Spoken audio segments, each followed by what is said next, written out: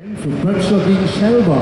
Wenn die sich jetzt berühren, dann kann Zielke vielleicht in reingehen. Das macht er auch. Setzt sich neben Schelber, neben den SLS, kann sich daneben setzen und kann sich auch davor setzen.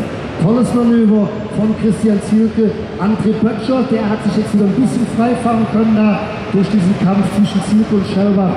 Schelbach die ganze Zeit auf Platz 7 oder 6 gelegen, hat jetzt noch einiges verloren da und muss versuchen, den Anschluss wieder anzufahren an Christian Zielke. Vorne Ahrenfeld auf 6, Böttcher 7, Zielke 8. Eingependelt, er weiß, es ist die letzte Runde, er darf sich jetzt keinen Fehler mehr erlauben, dann hat er die Top 8 geschafft. Böttcher und Ahrenfeld noch knapp vor ihm, aber er wird da keinen Angriff mehr riskieren. Das wäre blöd, daraus zu riskieren.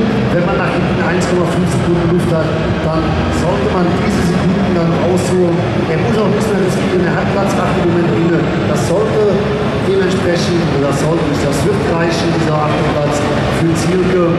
Und ja, vorne diese Platzierung, die Hand ist durchgegangen. Vorne Kranz, Krönke, Bräutigam, dann ist es auf Platz 4. Der Kollege Jagoczynski, 5 Übertries, 6 Ahrenfeld, 7 ja. Böttcher und 8 Zielke. Das die momentanen Platzierungen zu Lars. Und Moritz Kranz ist der Sieger, kommt in diesem Moment über den Zielstrich.